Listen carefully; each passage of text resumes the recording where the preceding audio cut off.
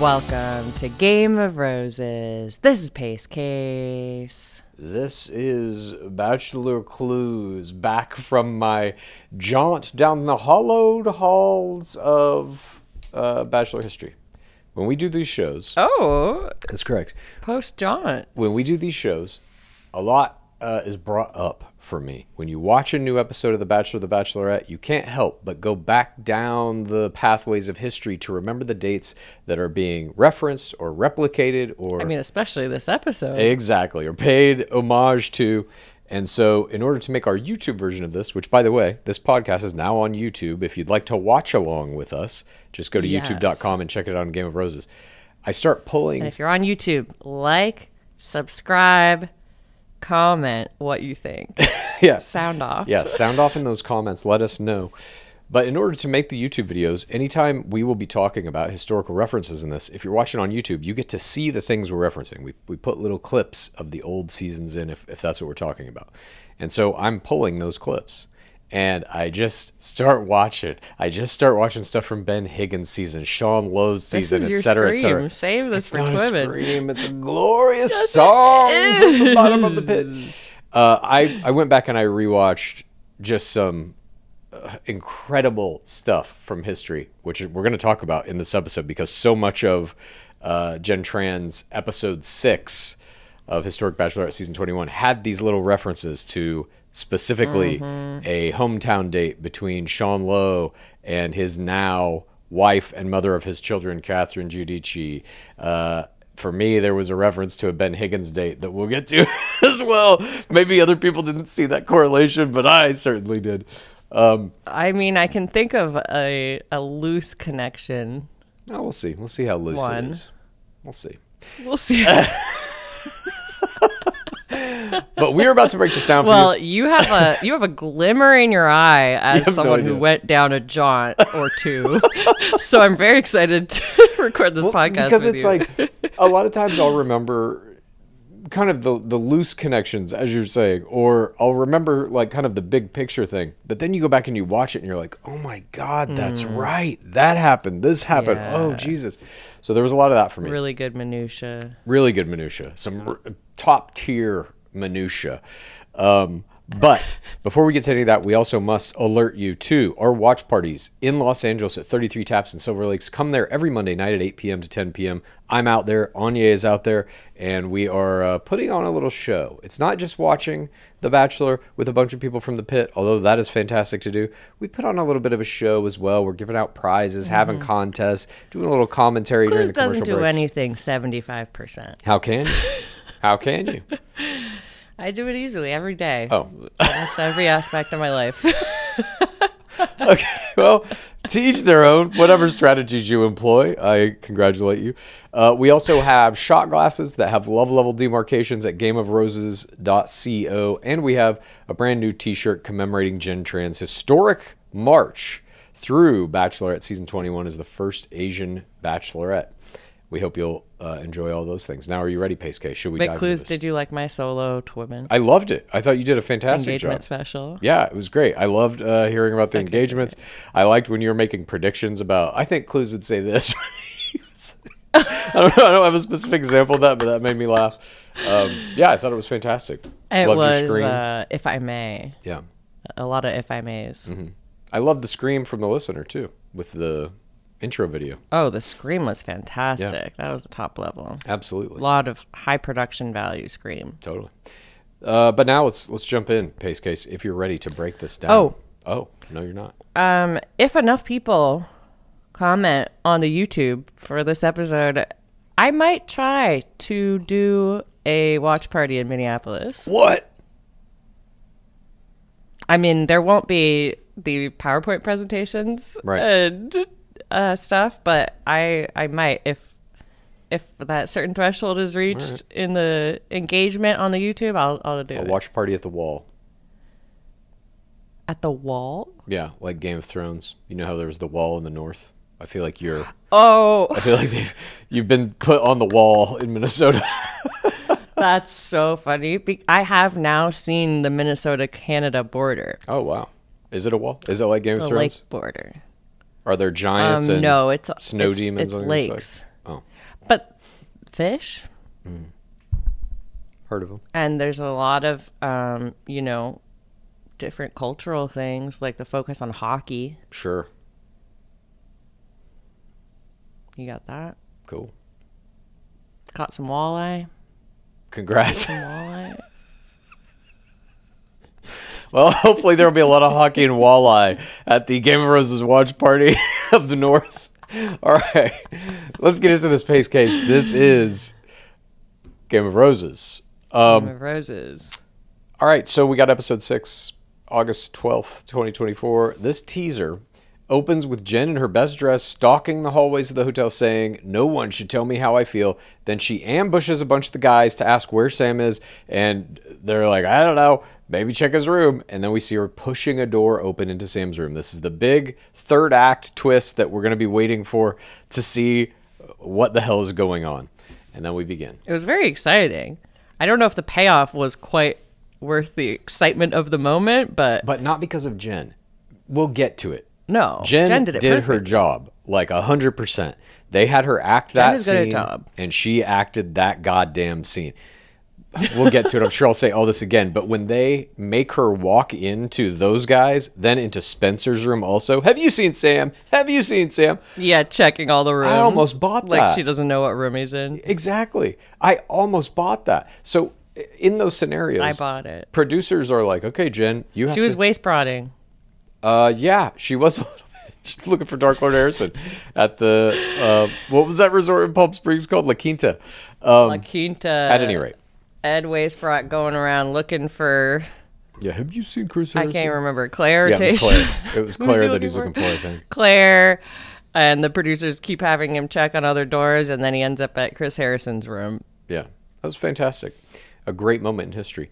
Um, all right, so Mm-hmm. we get into this first, first portion. The first shot of the episode is of two a row of seagulls waiting with bated breath, just like we are, about how Jenn Tran is going to kick Sam McKinney's ass. Was this my creature of the week? These seagulls? No. You? No, We then see the skyline of Seattle, Washington. obviously not. I know. There was one creature that was like, What? We see the skyline of Seattle, Washington. Jenn is walking this path and she's ITM. We're in Seattle now, back in the US. Bunch of great drone shots of the cities. We see the guys scream, Jenn! as they face the Great Wheel at Pier 57. And Jenn ITMs that in New Zealand, she broke down her walls and she was. Uh, when and she felt seen and she reminds us that next week is hometowns we're already almost to playoffs can you believe this this was the last regular season game I I am so excited. When they said they're going from seven to four, I was like, oh my gosh, it's like night one all over again, surviving the slaughter. I agree. I have a question for you, Clues. Have you ever heard Seattle referred to as the Emerald City? I have. oh, you have? I have indeed. Oh, I have not. That's its I've heard rainy. Well, yeah, definitely it rains that whole area. I it's also the city of grunge. This is where all the big grunge bands came from if you're somebody who grew up in the 90s. I have I'm not, that. of course. I grew up in the 20 teens. I am 18 years old, Baby 19 girl years old. Clues. Baby girl. This entire speech that Jenn, Gen Alpha. yeah, I'm Gen Alpha. Did you not know that? This entire speech that Jenn is giving is cobbled together from what sounds like voicemail messages. It, it is terrible. Roasted. like she didn't say any of this where she's like i'm going to hometowns next week. I can see a future with all of them. It's going to be the hardest decision yet. None of it is together. It's all played off face. Just get better at this. If you're gonna frankenbite which by the way you don't need to now you don't need to you can have her say whatever you want you just type it into it Also, if you're gonna ADR it, just get just get the whole take. Get the whole thing again. Well, I don't think they do that because I don't think they're going to go back and reshoot. You know what I mean? I think this gets put together way I- after but I'm saying shooting. if it's played it's played over ponder shots, if it's Yeah. just a voiceover, there's no excuse for it to sound so choppy. I agree. In my opinion, there's so much ADR this season, and It's terrible. Oh, I wrote here, music is old. Hmm. I don't normally notice music, but the music for the show sounds old and not modern. well, some of it did, but a lot of it, as we'll get to, was a commercial for a movie. so they were using Well, yeah. music directly from the movie. We'll get to all of it. So Jenn ITMs uh, that she was sent home the week before hometowns, the last regular season game on Bachelor season 28, and she knows how it feels. So she assumes that these guys are all feeling uh, serious in the relationship as well, and she wants to talk to somebody who's done it before. And we get a Council of Crowns with none other than Charity Lawson from Bachelorette season 20 fame, the first post Fleissian season. She's still together with her ring winner, of course, Dotun Olubeko. They meet and hug in this coffee shop and we get this little conversation. I thought it would have been so funny if just how she was set in in Paradise. She's just like, "Let me tell you all this shit about Aaron B," and then she's like, "What? yeah, would have been hilarious. oh, it's not that. Oh, yeah. Oh no, sorry. You you want bachelorette advice? Okay. So they they have this little um, conversation where basically Jenn is describing the traits of all the the guys that are still there, and she's like, Sam's holding back a little. Jeremy, we laugh nonstop, but is there more? Marcus, he's also holding back, hard to be vulnerable. And Jenn wants to feel confident in her playoff roses. Charity asks if she sees herself being engaged, and she's like, Yes, I'm excited for it. One last hug. And then we see the guys coming into Hotel Monaco, throwing their weight around. Marcus is like, This is my old stomping ground. The guys get in that room, they're I love Clevelanding all over. Grant's ITMing that he's falling for Jenn, a loaded love level three here, just very early in this first portion. The guys are all chatting about the importance of the week leading into hometown. Sam M's excited for Jenn to meet his family. Get it? He's getting a little bit of a horror fool score played under him. That music, mm. so you know immediately this is not going to be a good episode for Sam M. yeah, Devin. and it's not. Devin also ITMs that Sam's cocky, and he's always known that there's something different about him. All off face, terrible Frankenbiting. They got to get better at this. If you're going to continue to Frankenbite, I, I implore you, please use one or two audio filters that will s- smooth it out so that you can't hear the edits. It just it's so jarring, in my opinion. I I agree. I don't even know what line this was, but I wrote ADR off face, ADR to shit.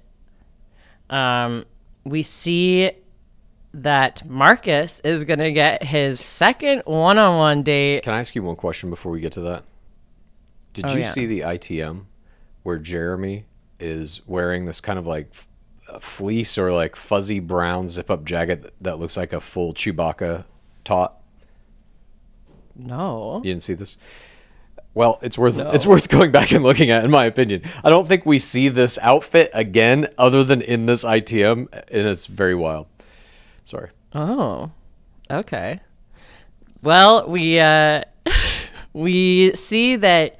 Oh, is he gonna get a pretty woman date? He's getting a special blue box with a golden ribbon.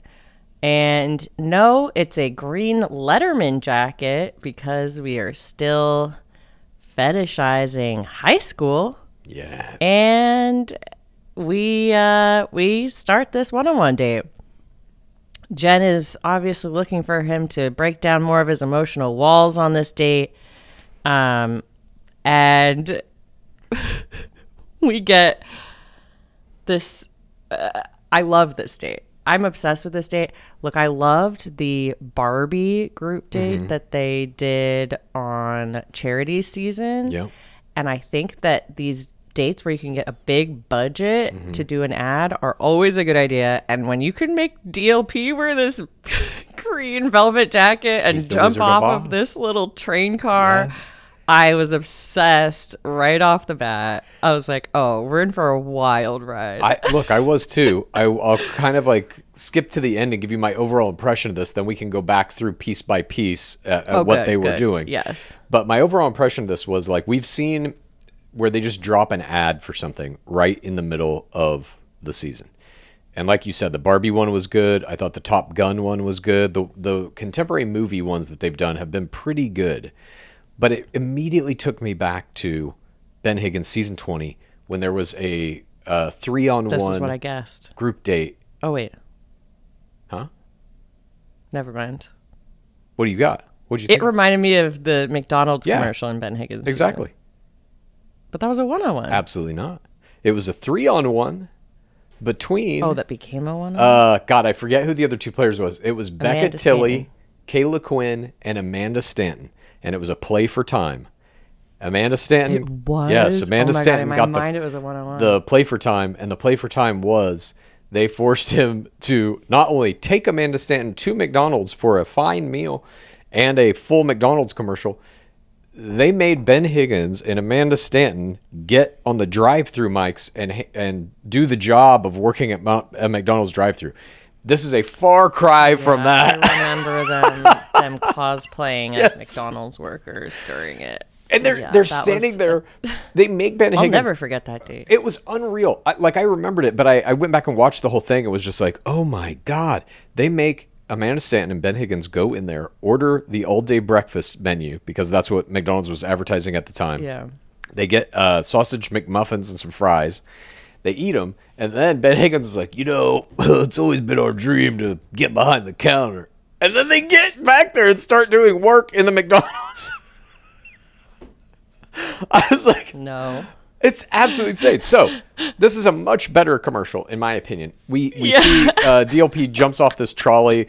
He's like, "Welcome to Seattle. Today's about the magical road to love. Thought it'd be fun to celebrate the new movie Wicked, which hits theaters this Thanksgiving."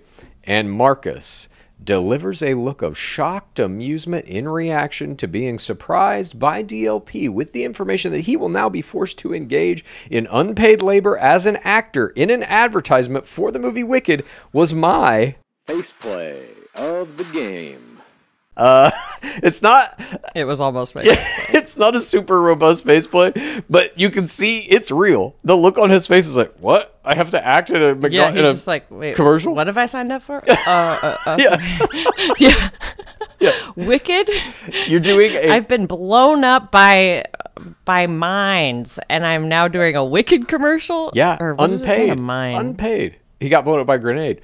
Um, a grenade. this is a this whole segment probably lasts three to four minutes. If you were the lead actor in a three to four minute national commercial for a giant brand or movie or something like this, you'd be getting paid a decent amount. Mm-hmm. This is zero dollars. Thank you very much, sir. Thank you for your time. I would say Jenn is doing most of the work in this little Sure. Wicked commercial. She's the one who says the the actual phrases. I I did love his faceplay mm-hmm. here.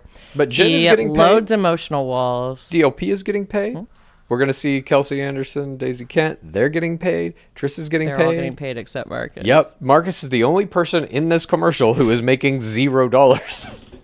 um, all right, so yeah, Jenn ITMs this ad for Wicked about her love of the musical. We get some musical score from the the movie as they follow DLP on this trolley and take this tour of the city.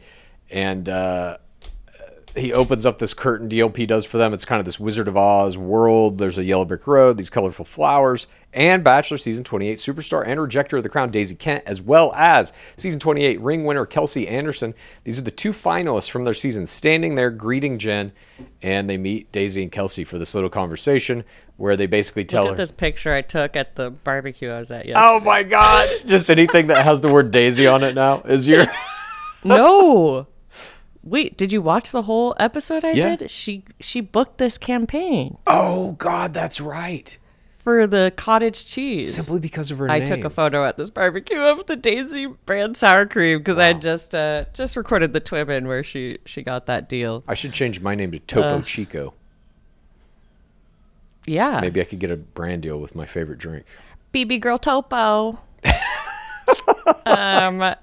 Anyway, I love all of the legacy that we are getting. We are getting the. Council of Crowns with Charity and Trista, and we're getting these ring winner and possible next crown Daisy Kent, like big names, all in one episode. I was like, this is delightful. Some of these little games, I and they're in these a little- beautiful gowns. What? Some of the little things they made them do, I thought were kind of like, eh.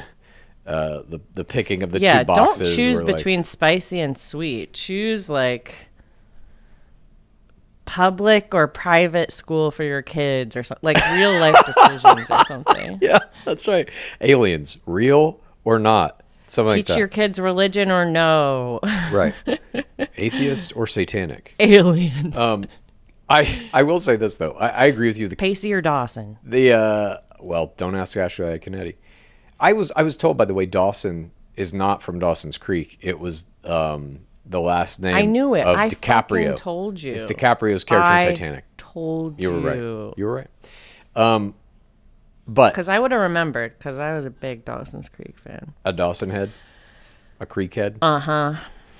I just again was flashback when all these We call different them Creakies. Creakies. Oh, I didn't know. Um, all of these different players showing up, of which there are four. It's again, it's Daisy, it's uh, Kelsey, it's Trista, and it's Charity. They are all part of this, and I just again I'm flashing back to the, that Ben Higgins day, and it would be like if the McDonald's in season twenty was entirely owned and operated by other players. That would have been a fantastic addition to that season, but they didn't do it. And the rest of the people are the musical people from Wicked, and then they all start singing Yeah. together. Like a I golden really felt like we were missing Bachelor. a musical number in this. Yeah, I agree. But they Um, were, they were playing maybe the songs. too much. At any rate, they do all these little things where they're picking this or Um, that. Experimental play with the spicy and sweet, though, when they get the hot peppers, I was like, you should just be like, oh, fuck that. I'm not eating the peppers. Unbox the sweet one. No one's stopping you. I totally agree. Kelsey and Daisy are going to do it? Yeah, I Throw it totally agree. But Marcus is a man of cake. structure and rules. I don't think he has that within him. Oh, that's true. So they're making all these choices, and Kelsey and Daisy are watching them and narrating the whole event, saying how good they look together, kind of giving that uh, the support. They have to scream their feelings at one point, choosing a scream box over a whisper box. They each scream a love level one. I like Jenn. I like Marcus. And Daisy and Kelsey then are forced to act as though the screaming is so loud they, they cover their ears in a shot. Oh, please be quiet. So they're they're having them do some acting on the side there. Uh, they have to make all these choices. The final choice they come to is slow or fast, and she says fast. He says Oh, they slow. have to do a pillow fight. Yeah. And they engage in some prone makeout play. Sexy. In front of all these strangers. And who were these strangers? Some a lot of them were wearing pink jackets. I was like, are these extras? I don't know. I had Who that same question. wandering around. Are they just strangers? No idea. Civilians? Um, we then see Um, she rings this bell, and then Kelsey and Daisy show up on a little pedal cart, and to get and they they're like get in and go to the next stop. So they pedal on this bike. They meet Charity at this path. She has a wand. She reminds them there's no place like hometowns coming up next week. And the next step, they have to uncover their past. She hands them the wand, and they're gonna pop these balloons. And I just wrote, "Are we in the goat?" I don't know if you ever watched the goat on Amazon, but I watched it all in Clues you said Corner. it was so bad, so I didn't watch It's it. very bad. All the challenges pretty much involve popping a balloon to find Mm. paint inside of it or whatever. I don't. That's not good entertainment Yeah. to me. Um, but these balloons are filled with uh, uh, PTC tear jerkers. Mm-hmm. We get this um, this video message from Marcus's sister. This whole part of the date de- seems designed to get tear play and get these PTCs out. Um, it's kind of like the the video messages Yeah. that they get on Love Island. I wrote down, man, it's a good thing she picked Marcus for this date. Would have been very weird if she would have picked Jeremy and they had to watch a video of Marcus's sister. Uh, good one. I'm just like, how how is anyone believing at this point that like any of the the selection for who goes on the date or whatever is real? This is obviously very pre-planned. I don't know. Whatever. Yes. Take it for what you will. Yes. And she gets a letter from her mom. They both produce tears here. Um, they they hit her split parents PTC once again. And then we get the last part of this little obstacle course. The fairy godmother of Bachelor Nation, Trista. And she is basically saying to be vulnerable, be honest with what you want, and let your love soar you above the city. And there's a hot air balloon. And I was like, whenever there's a hot air balloon, I am like, this is for Bachelor Clues. Thank you. But I think this was for Kelsey Anderson. Did you see what was on the hot air balloon? Butterfly. A giant butterfly. Her mom. They fly up in the air, still tethered to the ground, but they are there in the I air. butterfly for Kelsey's mom. I did too. I just wrote Kelsey's mom question mark. They fly up in the air, although still tethered, and they kiss. But they're not alone as they make out. Very Sean Lowe. I know. A hot air balloon pilot stands two feet away, trying his best not to become an unintentional participant in this makeout session. And this hot air balloon pilot, or HABP, was not my Jorge Moreno bystander of the week. Can you believe that? After you gave him all those initials, Can you believe that? H A baby. I can't believe he wasn't my bystander, but he's not. There was a better one later. I can believe it Uh, because there was so much in this episode. God, I know it was jam packed. It was hard to pick awards at some point. But uh, the, Jenn ITMs that it's the first hometown rose. She hopes they can get there, but she's fearful still. Marcus has these walls up. And uh, yeah, then after the end of this, I, I just wrote this long thing basically saying what I said up top. But like, usually these paid advertisements are just like fucking crowbarred in and they're so out of place and terrible. They made the most of this one. This, I think for me, this was the best version of this that I've ever seen in the entire history of the game. I just can't think of a better one. Mm. There was so much legacy. To have it end with Trista was like, oh God, that's perfect. It's per- I couldn't perfect. believe it. My jaw was on the floor. Yeah, it was great. Absolutely great.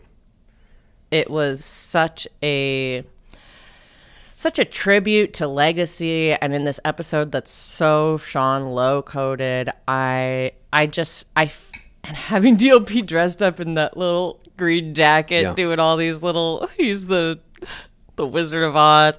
I this episode felt like it was made for me. I just I agree. I don't know. I loved it. I have chills. Um, we get back at the house. Jonathan is the postman reading the group date card. Spencer, Jonathan, Sam M, Devin, and G. Who's G? Grant. Grant. And Jeremy is getting his first one on one and the last one on one of the season. Unreal. Uh, What Jeremy did in this episode was, I mean, unexpected doesn't even cover it.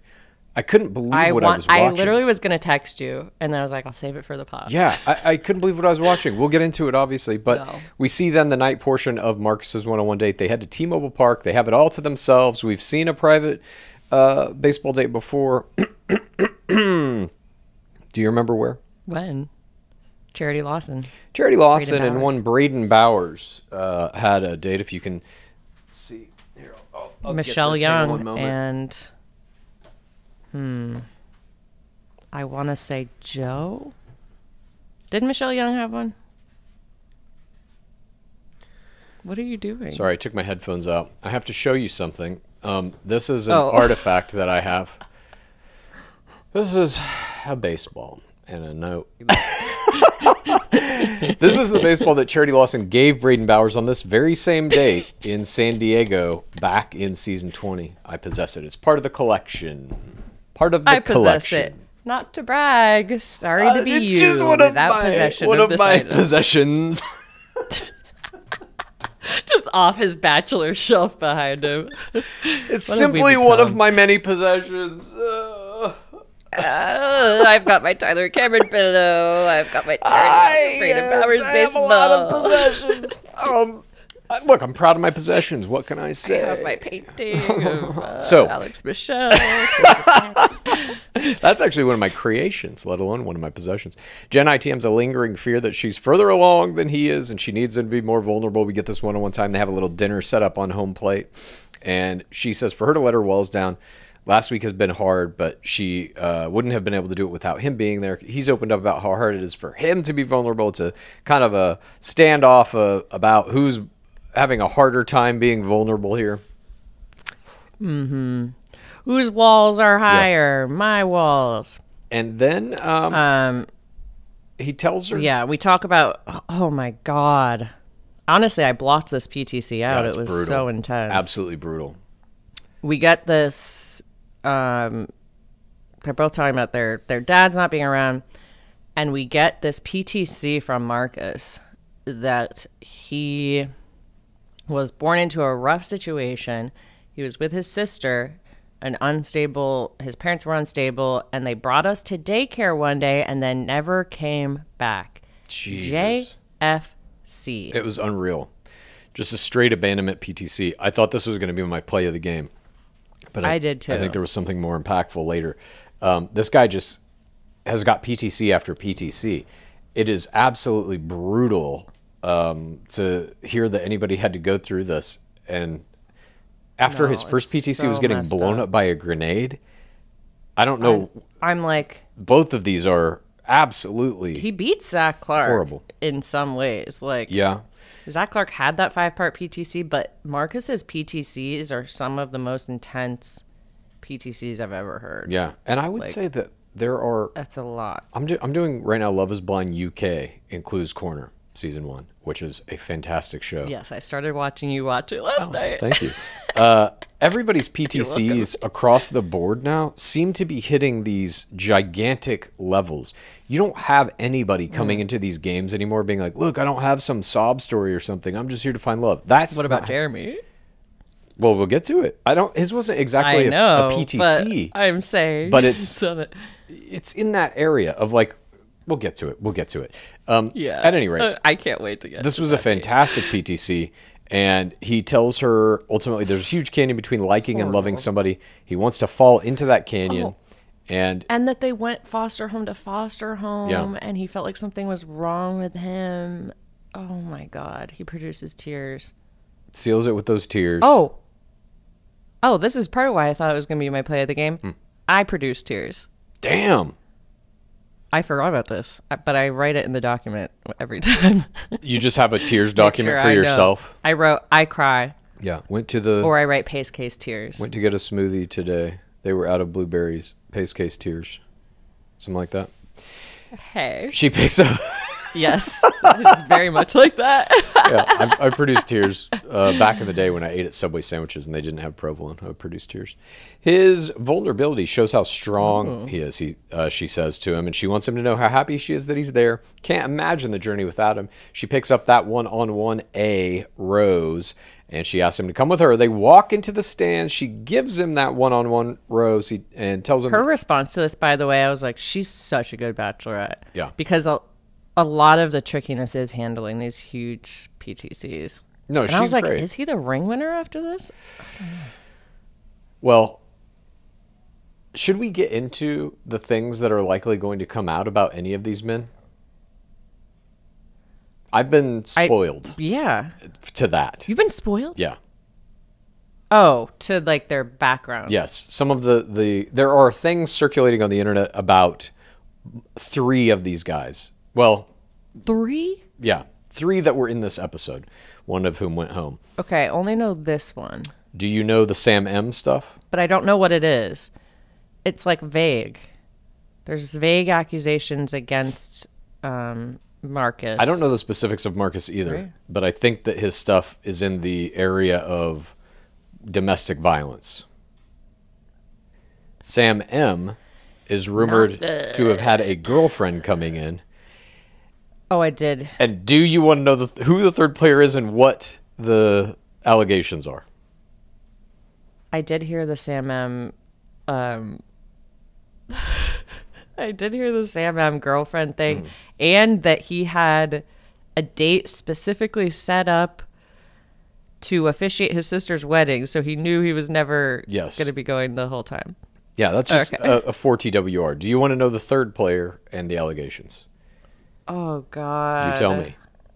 I'm trying to think of who is in this episode. Jeremy Grant, Jonathan. It was shocking to me when I learned of it.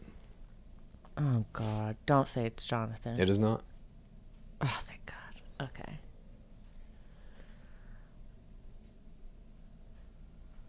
Okay, yeah, tell me.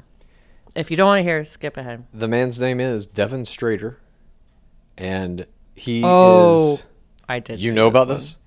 The rap song I and all of the the likes of the, The various rap? posts. I saw the likes. Okay, the the allegations are he wanted to be a rapper at some point in his life, and there is supposedly a video of this rap song in which he is rapping the N word. There is also uh, Oh no. all of these liked posts that are, you know, of a certain, let's say, right wing nature across the board in all cases. Let's say um you're not going to like them Yeah. So if you look them up. this season, I mean, Sam M, as we saw in today's episode, I think is going to get off relatively clean. These other two guys are going further. They're in the playoffs, which means there's going to be more scrutiny on them. I expect next week this stuff will reach a, a kind of critical mass and pop through the. I mean, they're the giving. Marcus a top two edit. Absolutely. And I don't know, you know, what his side of the story is or anything. I haven't looked too much into any of this. I'm just like aware of Mm-hmm. it. It's been brought to my attention by various sources. It's it's starting to bubble up to a point where it's like this is going to be, uh, you know, akin to to kind of like the. Um, yeah, the season 19 Erich Schwer blackface photo in his yearbook. I think that's going to reach this level. And then do they address How that or not on the show? How old is this rap video? I don't I'm remember. I, I don't know the the years of it or anything. I would guess like mid two thousands or something. Um, it, it doesn't matter though. I mean, it's just the, the visibility. I mean, what is? I mean, I know that Bachelor Nation is so good at sleuthing this Mm-hmm. stuff out, but like, how how is this the casting? I just don't understand. Like, I don't know. Especially the Devin stuff. Like these posts aren't. All you have to do is look through his liked post, and it's not like there's one or two. It's a bunch of things that are again of that certain style. look You know, at someone's liked stuff. You can't just go to someone's profile and click their likes, right? Of- yeah, can't you? I don't know. Maybe I'm I'm wrong about this, but then how does Reddit have it? No, how, you have to just search the internet. Uh-huh. account- you have to follow them and look at their account and look at that account, Mm-hmm. and then you can see their name liked this post. Oh, I see. Well, they should have done it.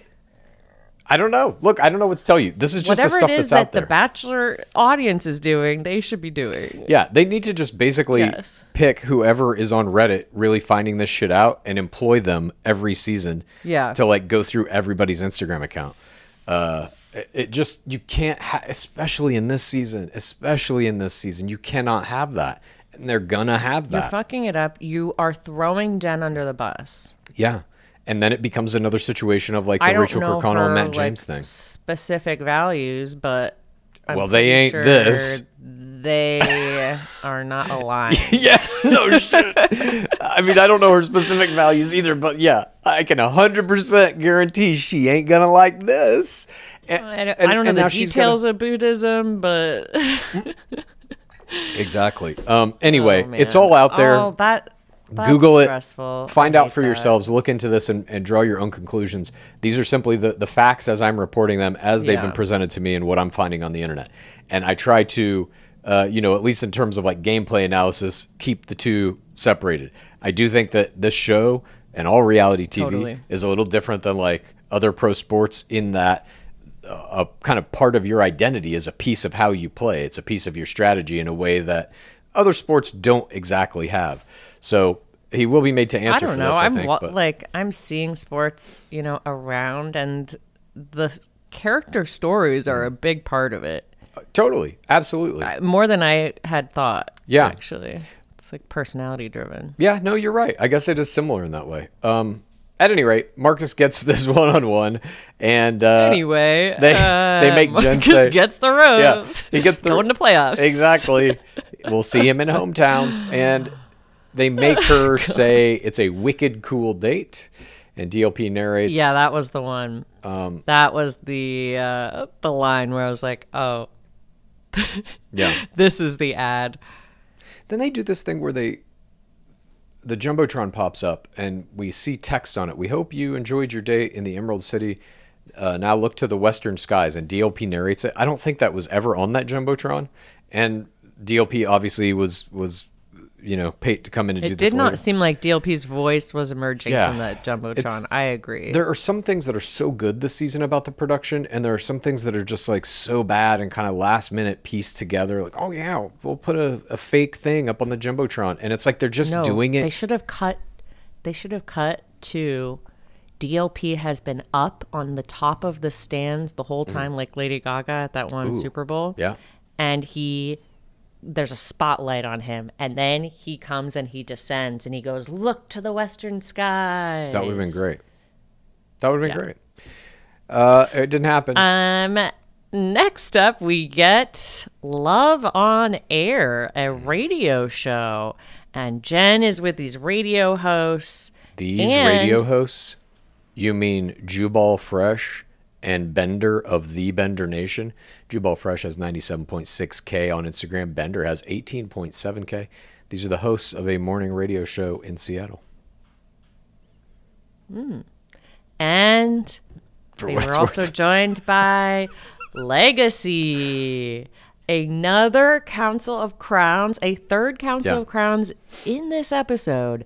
Jason Mesnick of Mesnicking, Mesneying, and his second choice for wife, Molly Mesnick, um, also co-hosting this radio thing. I this episode, it's all in one episode. I, can't know. believe it. And they're doing our job So for good. us a little bit. They actually give us old footage of the original radio show date that Mesney was on back in season 13. We get to see it in the program. Yes. This is exactly what Bachelor needs to be doing.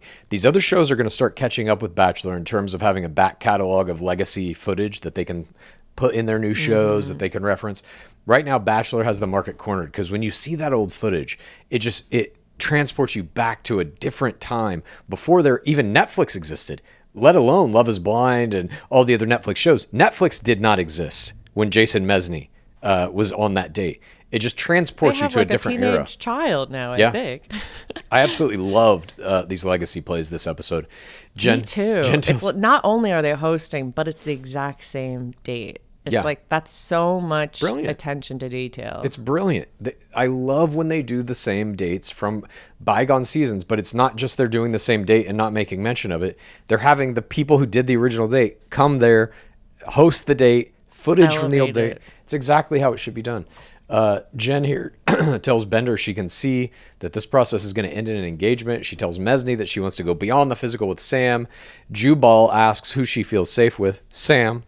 And then we see the group date. The guys show up to the studios. Jenn is saying there's something missing with Sam. They're really hyping up this Sam, Sam, Sam. I like Sam, but there's something missing. We have a physical connection. What else? Sam. And uh, Devin ITMs. something telling me he's got a girlfriend. Yeah, little does she even know.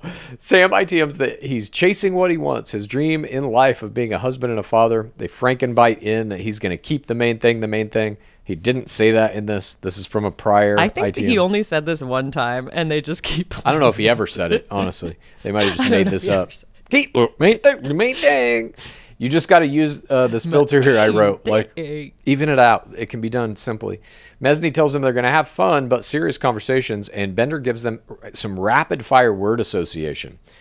Spencer, you're up first. Rose, he says, me, Grant, shower every day. What? It's a weird one, I thought. Sam gets fantasy suite, and he's like, uh, aggressive. And everybody's record scratch, heads turned, what? what are you talking about, dude? What is going on? This. I was obsessed with his performance on this group date. It's so wild. his performance this entire episode this to me was indicative of a man who was like i cannot go to hometowns i've taken this as far as i want to go i can't do it anymore because it's bad i've got a Conspiracy girlfriend back home I gotta get back for to officiate my sister's wedding. Or that wh- whatever the case is th- today or this uh, game's performance really struck me as a guy who didn't want to be in it anymore intentional turn. Yes. That it was like, I, I can't take it to this next level. Now it's getting kind of serious. Hmm. If I go to hometowns, maybe I'll win, and I don't want that. That is what, I mean, he just If I made go to no hometowns, sense. there's pictures of me and my girlfriend everywhere. Yeah, exactly. Their pictures like up in the local shops and stuff. It's the, the couple Yeah. of the city. What is this picture, Sam? the couple of the city. It's the main thing's the main thing. I open a coffee shop with it called the main thing. Um, all right. Anyways, we are getting him just doing this kind of word salad uh, as we go It's on. like an artistic performance, honestly. It's unreal. What he's doing here. Uh, Jenn gives a little open gameplay speech. She ITMs. Um, it's a Who Loves Jenn More competition, and she loves it. That's literally the thesis of what the show is. Bender then asks Sam how he feels about Jenn, and we get this like, uh, I would just say fire and like strong passion. what? What's That's what I'm saying. Like he's rambling in incoherent nonsense. He this It's man like he's not understanding the questions at all. it's like he's drunk. It's like he's very drunk. Yeah. It makes no sense. That's why I think this can't be real. I think he's trying to uh, just say some words that like won't in his mind appear bad on camera, but that me- are kind of meaningless. That's what it felt like. I don't know. At any rate, I yeah, I it I have no idea what was going on here. But No uh, one did. Jenn ITM, she's confused and the radio hosts say we're choosing one person. Mm-hmm. This was actually a, a play for time, and the group date winner is Sam M. He needs more time on air to get to know Jenn. And we're gonna imprison the rest of the guys backstage to watch on screen this singular radio performance, which I loved. It was so funny to see them laughing at the shit Sam M is saying was delightful. I completely agree. I thought that they put this together very well. And those producers, when you're sitting there and Sam M says, when they're like fantasy suites, and he goes aggressive, and you have to know how to pivot that. How are we going to do the rest of this date to get the most value out of Sam M's implosion? And I thought they did it perfectly. Yeah. There's not a drop left juice in the Sam M performance. They have it all there. They presented it well in the document. I mean, when somebody goes out like this, just floundering, doing weird plays, let us see all of it. And I thought they did a very good job of that, personally. um, we see them ask these questions. What was your first impression of Jenn? And then he is talking around it. Oh, it was um I got out of the limo. I you know, the unknown. You're you know, you're not my type. Yeah, And this was my error, error, error, error of the game. He says that he thought it would be Daisy or Maria. And I don't, you know, we're not seeing the questions that are leading into Yeah. this. Who knows? Maybe they're setting him up. But uh, this performance, it was between this and the knock knock performance for me. But for me, this really like started to set it off. Was Totally. not being able to to name an a positive adjective about Jenn, No, and to and instead do this. Yeah, you're not my type. You're stunning, but looks fade. I'm trusting the process. My parents have been together for 30 years. Huh? Looks fake. You ain't gonna look like that. I asked forever. you what your favorite ice cream is, Sam. What's going on here? Yeah. Jenn says everyone wants love that's lasting and real. What is it about her that makes him think they can have a future mm. together? Your selflessness. How do you think I'm selfless? Oh, you're either selfless or full of shit. IDK. what? Yeah, you're either selfless or full of shit. Like, Holy what? Christ. What does that mean? That's what I'm saying. Like he's he's trying to present these weird like, and he did this on their uh, Skywalk date too. This kind of like, look, I think you're great, or you're a fucking total piece of shit. This this kind of weird standoffishness. Wordplay. Yeah, it's a bizarre play style. Obviously, it doesn't work, and uh, we we see him as you're saying, kind of imploding here. And ultimately, Jenn ITMs that he's giving these vague answers, not answering her question. She's getting frustrated with him. She needs to feel real Oh. assurances.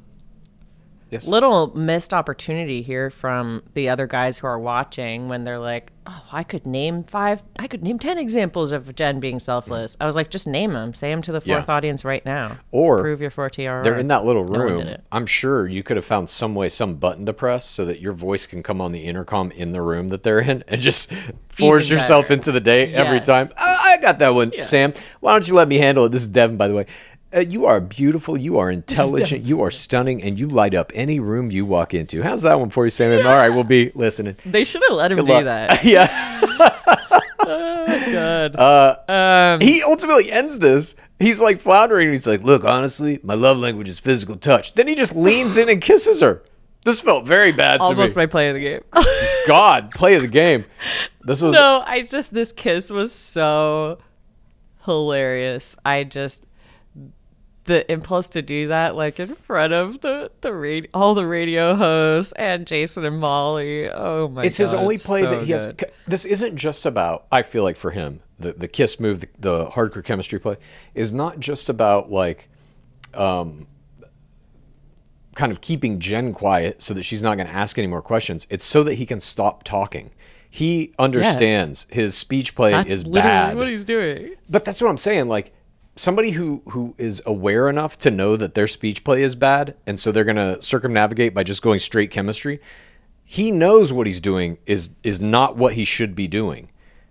That is, Hmm. if he has an awareness of it, then he also probably knows what he should be doing, but he's unwilling to do that thing for some I don't reason. know. I'm also like, I don't know. Maybe this has worked for him so far. You know, in What? Who's Just, who's like, he dating that this works for? talk around and like chemistry? hey, honey, what do you want to get for dinner tonight? Listen, I either want to eat something really good or you're a dipshit. I mean, like, who, who's this working on? I want to get pizza or you're just stupid as hell. Honey, I'm sorry. I was distracted thinking about how fucking ugly you're gonna be Yeah. in 20 years. you want to go see a movie tonight? You're absolutely selfless. Huh? I, I just don't. I don't think this is working anywhere on planet Earth. Portion five begins. It's the night. Uh, it's the after party. Jenn's addressing the guy. She says the day was so fun, seeing how we can all fit into each other's lives. Grant starts the salvo of ITM. Something's off with Sam. Hey, I'm going to tell Jenn how I feel. It's real. We get the one on time, one on one time with Grant. He love level threes her in it. I am falling in love with you. Couple kisses here. We get some one on one time with Jonathan. He love level ones her. My feelings. oh, sorry. Which which radio host had the silver hair? Uh, that was Bender. Bender was my. Jorge, Jorge, Jorge, Jorge Moreno, bystander of the week. week, week, week, week, week, week, week, week. I I mean, extracting this performance of Sam M just deserves an award. I agree. I agree. Yeah, you're right. He probably should have been mine too, but he wasn't. My There is Jorge's another coming. one, but- yeah. we see Jonathan gets this one-on-one time. He issues a love level one, gets a kiss. Spencer gets some one-on-one time. Uh, he thanks her for letting him know that she sees him, and she says he's given her so much more than any of her previous relationships. We get a kiss, but not enough to stick around. One-on-one time with Devin. He love level ones her. Then he love level threes her. I'm falling or no, sorry, she does. She says, You've said you're falling in love with me, and I'm falling for you as well. That's her first love level three of this season, and Devin gets it. I wonder if she's seen his rap song. He says he has such a strong sense of who she is in Doesn't such a seem like short it. amount of time. No, it does not seem like it. Do you think that's going to be the hometown? He's like, Come on in. And he gives her the performance of that song. It's he just has like Mandy J. Jeffries has that pageant room. He just has like his rap career room with like his different mu- musical trophies. fake gold albums and stuff. Um, we see the other guys here. Then Devin is asking Sam if he thinks her concern over someone who needs to be more truthful was about him. And Devin is ITMing that the main thing was not the main thing today. Jenn isn't playing games. She pulls Sam for this chat. And then ITMs again. There's something not connecting with him. And we get this long conversation here uh, with Sam, in which he opens up with a "How you doing?" She says she needs to be honest with him, and it feels like he didn't see her or understand her, even though they had such great chemistry since night one. She needs answers about how he feels. She needs clarity, the invocation of clarity. She says, The word I gave you today was selfless. He says, He needs that. He keeps clearing his throat through like every third word during this. "Mm, uh, well, mm, I just. He says he doesn't know it's her, but he trusts that he's there for a reason. like you never are you saying on The Bachelorette, like, well, look, I don't know if it's, I'm a one with you or whatever, but I'm here for a reason, and that could be Instagram. Uh, I don't think you should be saying any of this.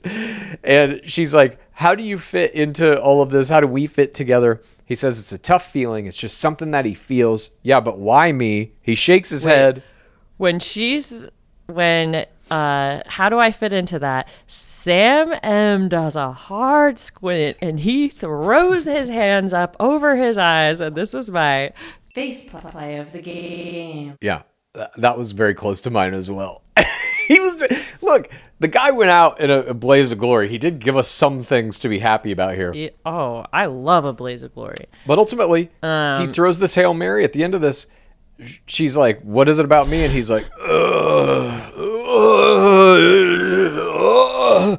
I love you. Love level four was my error, error, error, error of the game. This to me Fair enough. Sam's love level four, just out of nowhere after a day of speaking gibberish, was it was just uncalled for. And I get what he's trying to do here. He's trying to validate his play so far. He's trying to say to the fourth audience, I, Jenn's He's not trying to buying save it. his game. He is. He's trying to go out as a victim because he can feel the tide turning. He knows he's about to get sent home in this game, uh, and he's trying to throw one last thing in there that, like, look, no, I am here for the process. It worked. I did fall in love. She, however, looks skeptical and side eyes him, and he says, "Look, it's extremely scary feeling to me." she, she she ideas frustration and confusion. And uh, basically this ends with her bas- just saying like this ain't gonna be it. Um, she ITMs there's no logic there. She says she thinks they need more time to get on the same page. He gets a hug no kiss and you know that ain't a good sign. And then she returns to the guys to tell them all no group date rose because she has to be 100% with what she's feeling. See you at the rose ceremony. This is the second group date rose of the season she has eliminated. She has denied Mm-hmm. these players the privilege of getting that zero pointer. I don't generally like this, honestly. I don't either. But the producers are the ones Um, doing it. It's just rose math. They want to have one more rose Yeah. to, to ratchet up the suspense of this rose ceremony leading into playoffs. And I get the feeling that they um, had they made Jenn keep Sam M longer than she might have intended. oh, for sure. and um it was just it was such an unforced error this this love level 4 and the radio performance it was oh, it's great um we see the next portion. The guys are having a chat in the hotel about Sam M. Where is Sam M? He's wandering the streets alone with a ring on a string on his necklace. I wrote that too. I literally wrote, "We see Sam M wandering the streets of Seattle alone." I was like, okay, they just like let him go. yeah, uh, Sam, we're gonna need you to just walk around the street for a couple hours, We're staring into the sky. to- If you could just do that for us, just for an hour or two. They probably just got 24 hours of Sam M footage. Sam, Yeah. we're gonna need you to go and uh, talk to all these people. We're gonna need to get some more of that those grunts that we can put in on ADR. Can you go eat some McDonald's all day breakfast by yourself for a couple hours? He ITMs. Sorry, go ahead. Go to another legacy spot. It's Jeremy's one on one.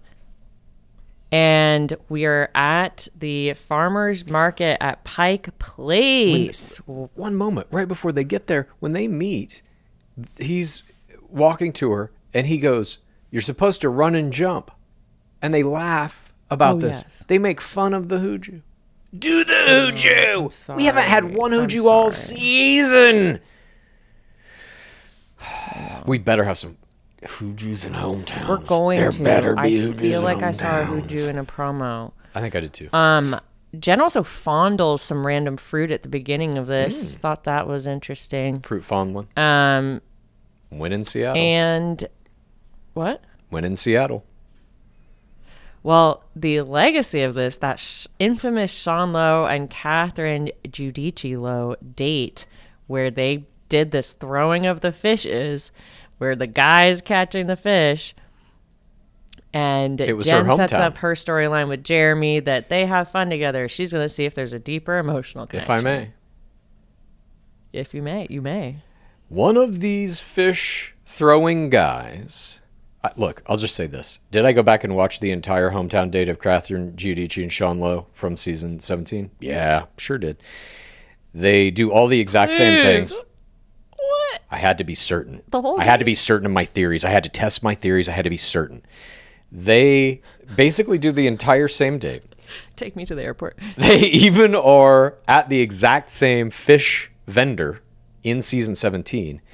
And I don't know, I can't be positive of this, but with my scrutiny, what I was able to detect is that there is at least a, I would say 75% likelihood that the guy standing behind the counter with Jenn and Jeremy while they are catching fish was the exact same guy standing behind the counter with Sean Lowe and Catherine Giudici in season 17. And that guy, whether I'm right about this or not, was my Jorge, Jorge, Jorge, Jorge Moreno, bystander of the week. He looks very care. similar. It could be true. He looks very similar. Couple years added. If it's the same stand, he might own it or mean, it- something. I don't know. maybe yeah, family business stays. I don't know. I was waiting for them to go in a photo booth. I was like, they're gonna recreate every aspect of this date. Um, yeah, I didn't like him making fun of the Hooju either. And Jeremy then asked this lady if he can make a bou- bouquet for Jenn. He is going all out. He is like, this is my only one on one date. You got to look at the statistics and be like, I'm going home. You got to leave it all in the field Yeah. and he crangles her this bouquet. They're like playing around. They go to a spirit guide palm reader who, you know, was almost my bystander as well. right before that, they go to they go to something else. They go to a psychic chicken who lays an egg with a fortune in it that reads lives are not meant to be built on laughs alone and this psychic chicken was my Creature of the week. I don't think we've ever seen a psychic Oh. chicken in our beloved game and uh, uh, the first psychic chicken is going to get the creature of the week from me. That's just how it goes. Oh my gosh, we have a different creature. Yeah. I thought we had the same one. then they hit Oh, this we learned these facts about Jeremy by his hands that he was a drummel, drummel, a drummer and a martial artist. I mean, I no no slight to this psychic. Um, did the producers just tell her that he used to drum? He was also did martial arts. don't he was that. I don't know. You don't think she can tell what kind of hobbies you've done by your hands? Maybe she can. Maybe she's that good. I don't know.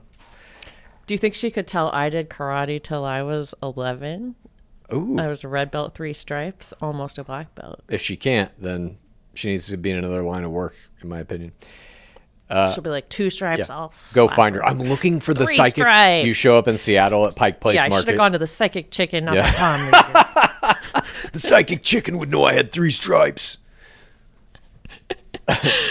Um, they go to the gum alley and Jeremy touches it.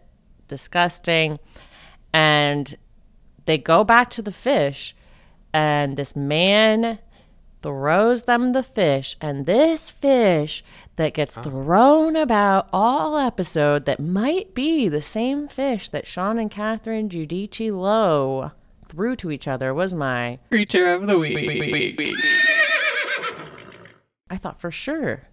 Jeremy then catches it with his martial artist hands and kisses the fish. Great, great play. Yeah. I thought. I would say one thing that I would do as an experimental play, and I thought this back in season 17 as well.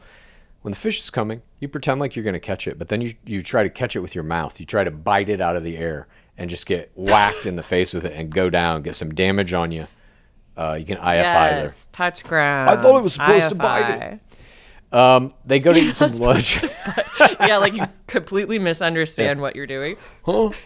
I was salmoning. Supposed to catch it. Um, he does the worm here. They're, when they dance Oh, God, around. yeah. That was pretty impressive, actually. He also made a couple of jokes here about uh, one here where they go in the gum alley, and uh, he's like, "Is this where you're gonna kill me?" I thought that was a great inclusion and funny. He rehits that joke later. Great callback. Then we get this uh, lunchtime. They're eating, and he's asking her about how yesterday was. She says she had some confusion and frustration. We know she's talking about Sam M. And he says, "Well, I'm glad we're here together. I feel strong about where we are, and we can just be ourselves around each other." She calls him Jer Bear. She did that a few times as well. He ITMs that he's excited to bring her home. That's a good sign. I agree. They do some food play with some chicken tendies. Yep. And then they kiss. And we see uh, the next portion. We get the dinner for Jeremy. and this location. they so Oh, beautiful. The, the Chihuly. Museum of Glass.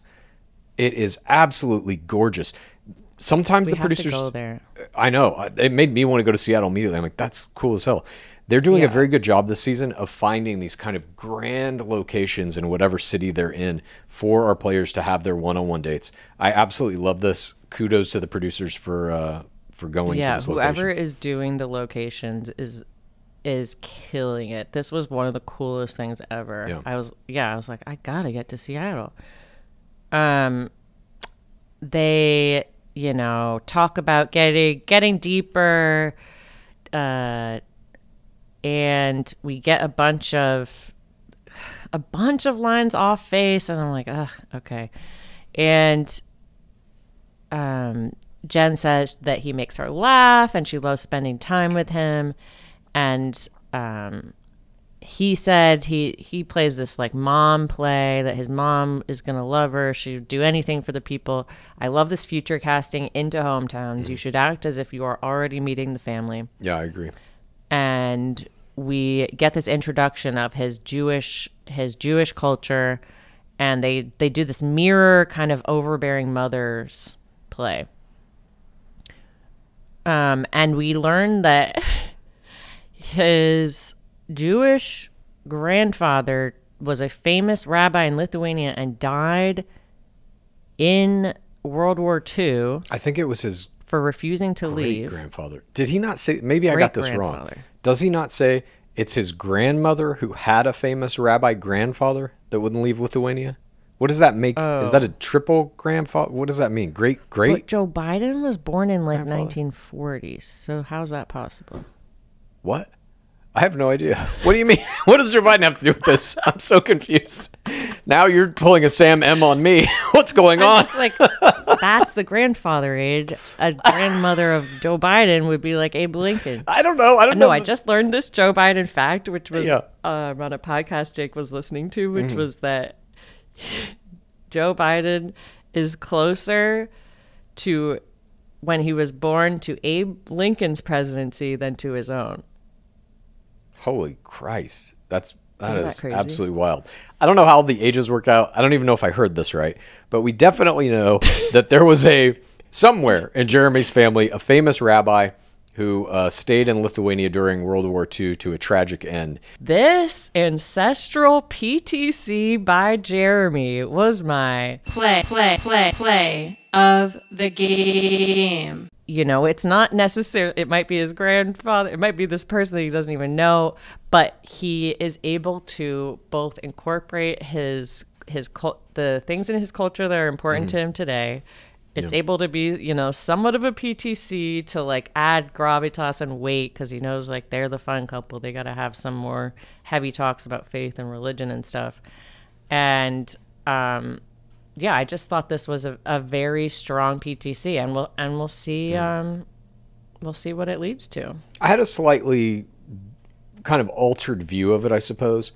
I, I mean, I guess it is a, a ancestral PTC, but to me, I just deemed it all Jeremy's cultural heritage play was my Play, play, play, play, play of the game. because I think it was hmm. like, well, he's talking about his own family is certainly important, but then also how he handles Jenn Tran saying, well, I'm Buddhist and I want my kids to be that as well. And he's like, great, we'll have some Jewish Buddhists and, and kind of like mixing it hmm. together with hers.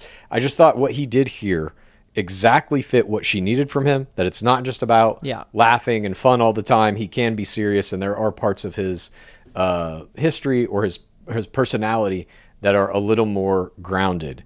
And I, Yeah, I get and he's already thought about how they're going to mix religions for their kids. Yeah, and while Marcus's um, PTC, his abandonment PTC, was just like off the charts.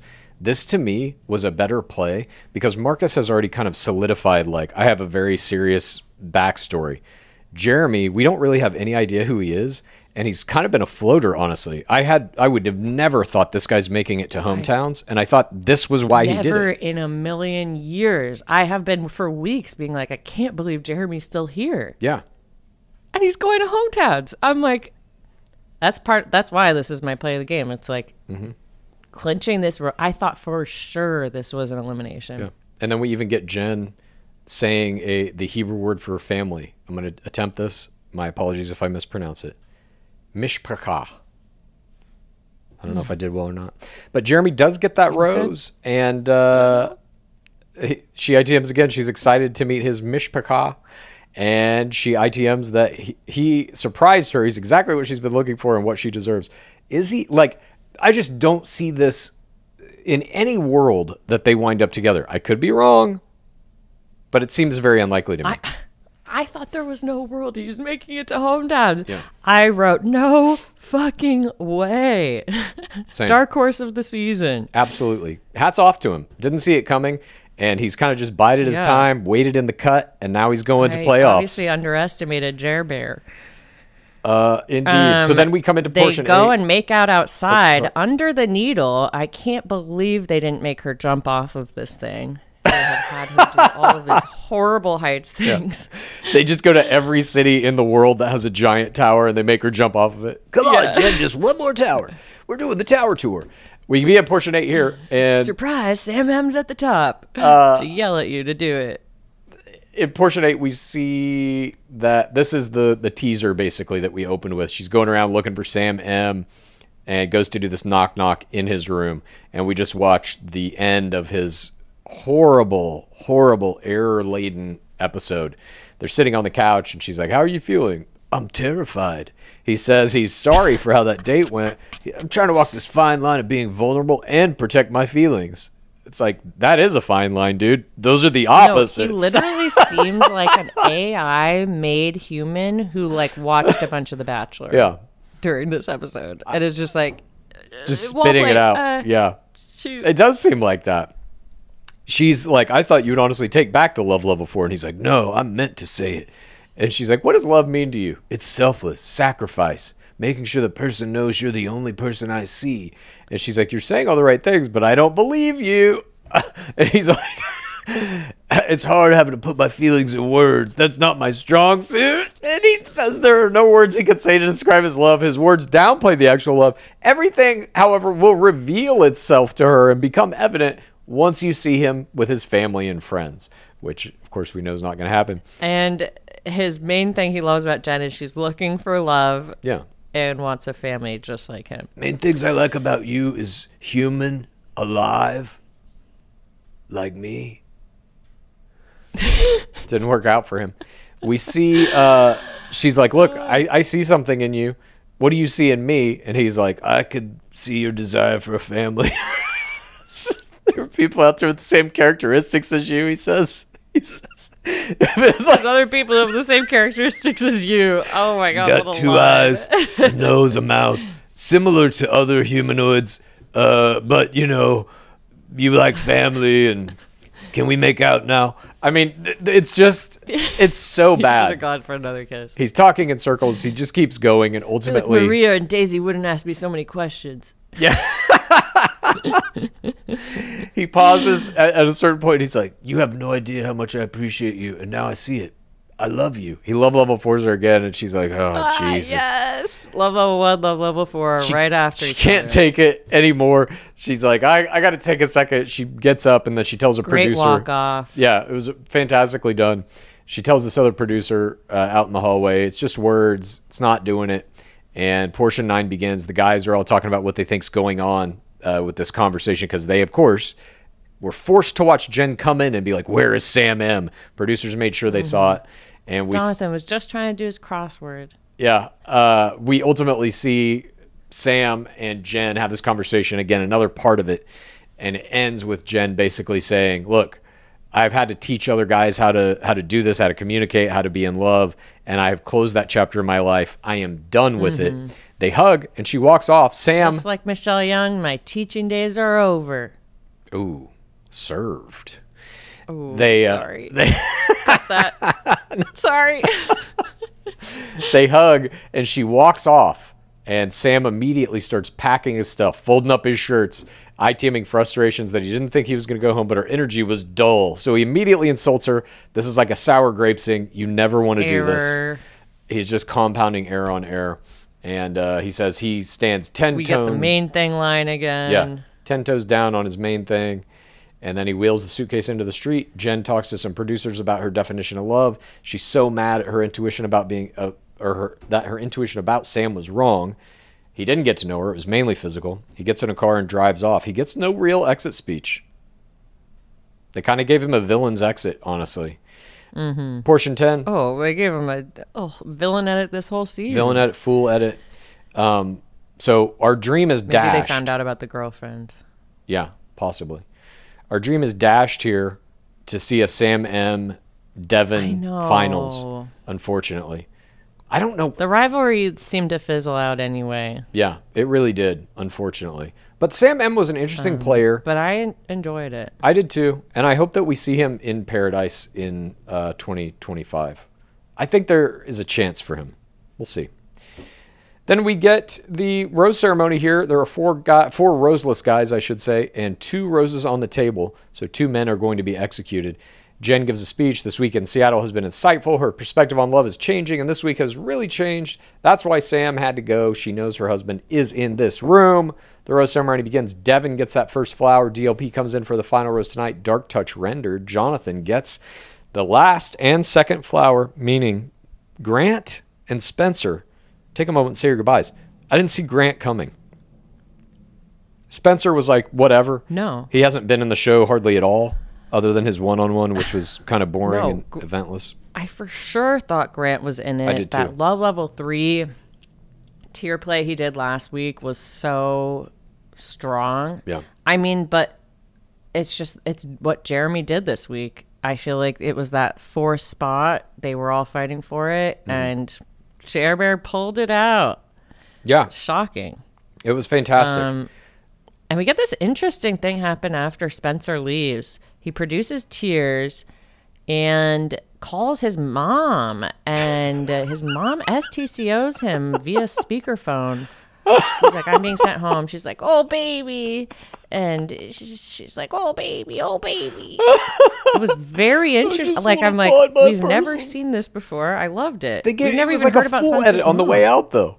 Like, why is why does he get a phone? Nobody else is getting their phone to call their parents. No, I don't This know. is straight full edit. I felt bad for him. He shouldn't have done this, in my opinion. Hmm. Um, I thought interesting. I would like to see a phone call with each person after they're kicked off. Now, yeah, you get your one phone call. It's like going to jail. Yeah. Do you think Grant Ellis is in the conversation for Crown?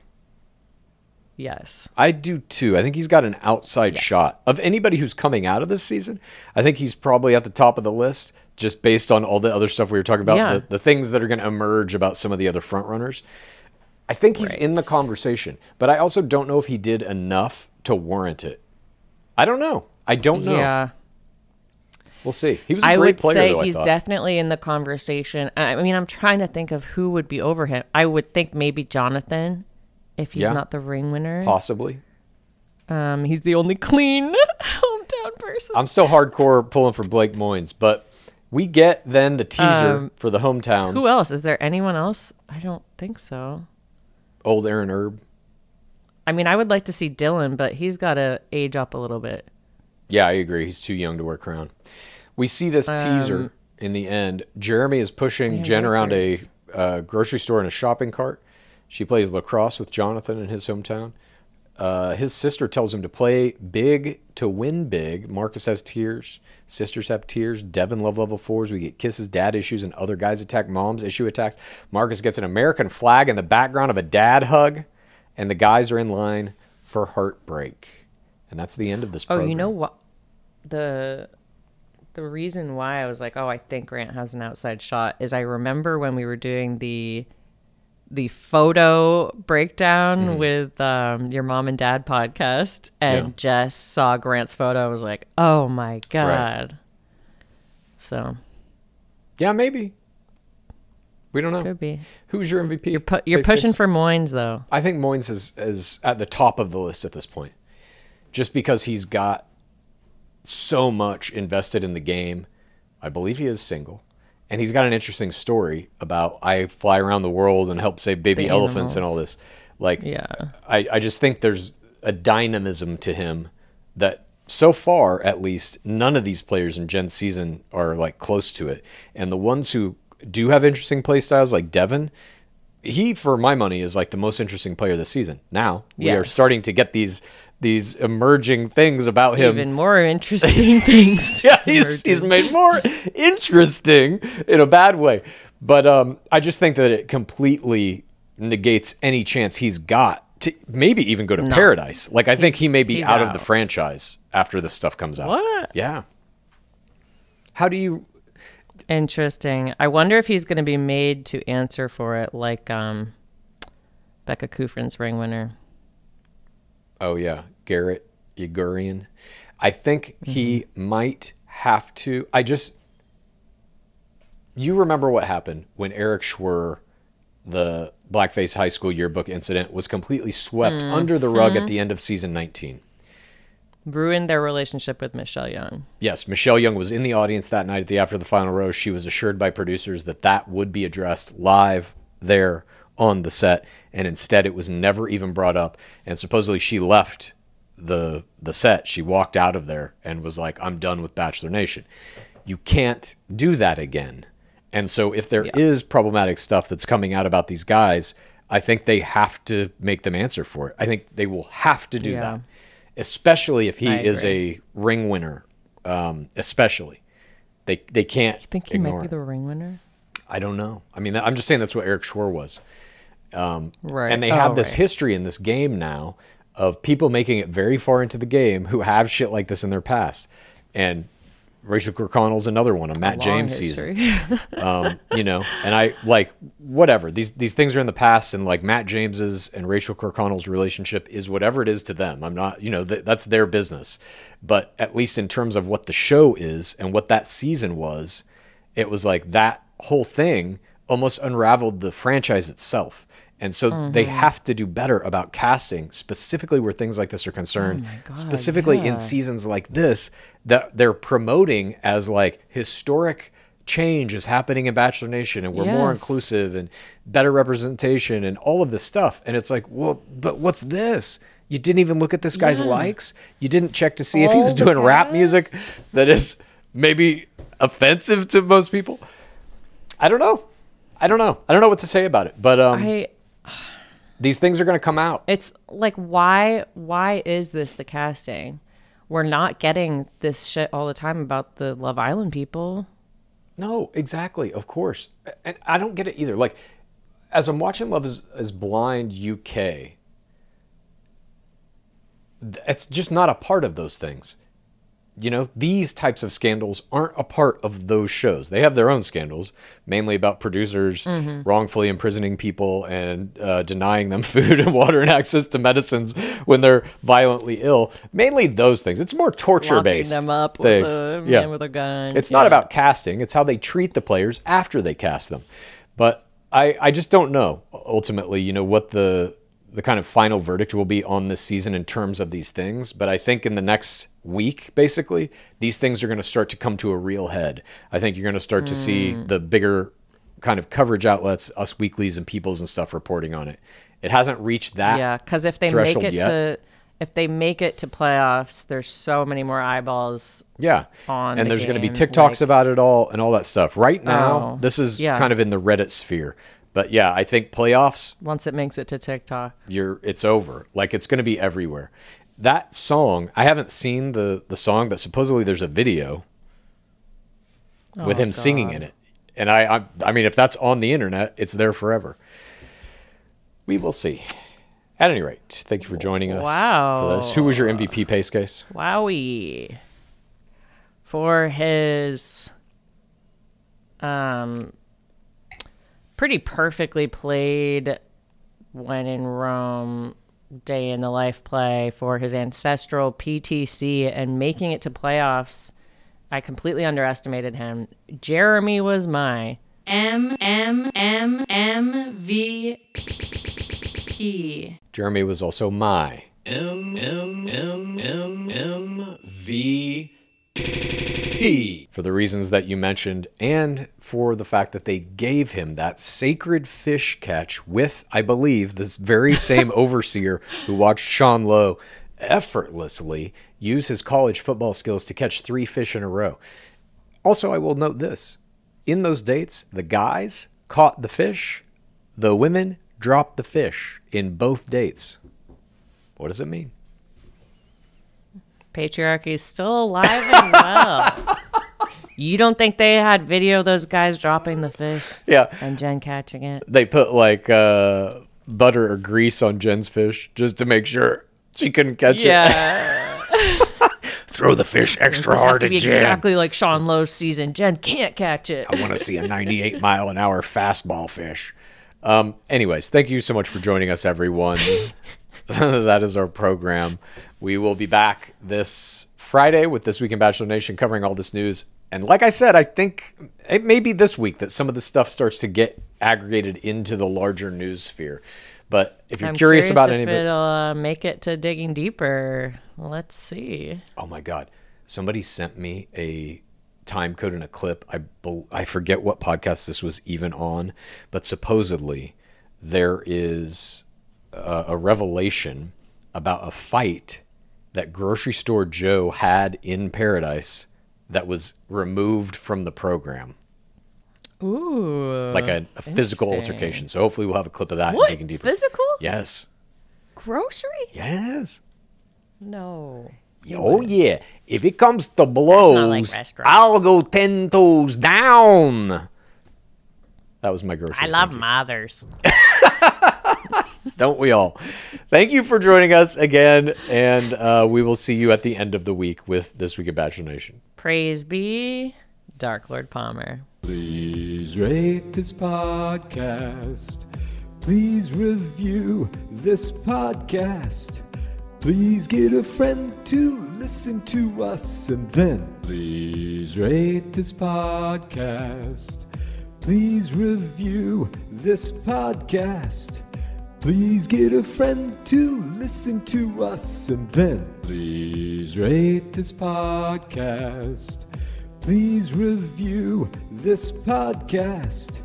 Please get a friend to listen to us and then